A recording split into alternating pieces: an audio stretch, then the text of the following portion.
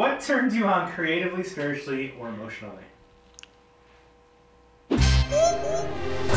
YouTubers, what turns you on creatively, spiritually, or emotionally?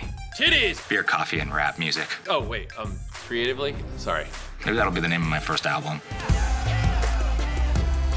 Creatively, spiritually, or emotionally? Titties.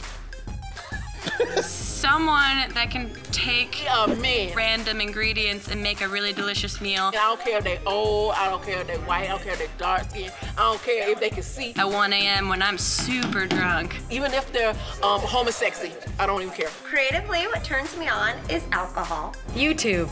Emotionally, what turns me on is alcohol. Don't bite the hand that feeds you. And spiritually, what turns me on is spirits. That's another word for alcohol. Butts. Just butts. Just big butts, you know what I'm talking about? All different kinds of butts. Real big butts. Not just girl butts. Like sometimes you see like an Olympic weightlifter who's got a great butt. Like, oh my god, he moves so much weight with that butt. That's so inspiring. Late nights. The everyday happenings all the time. Living. My environment. Passionate people and ideas. A one-on-one connection with your audience. Good people. Constraints. But intense amounts of chili. Game of Thrones. Turned me on. Flying dildos. Girls turn me on. Girls. Girls and food.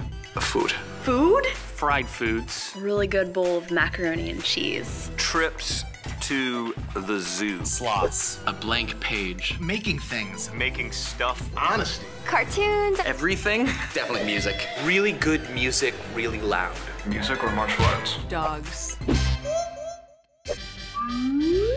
Thank you so much for watching this best of Wait What Season 1. Down in the comments below, let us know what turns you on creatively, spiritually, or emotionally.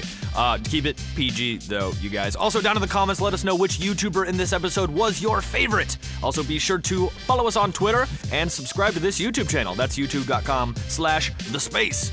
Get it? Because we're the space, YouTube space. It makes sense. You get it.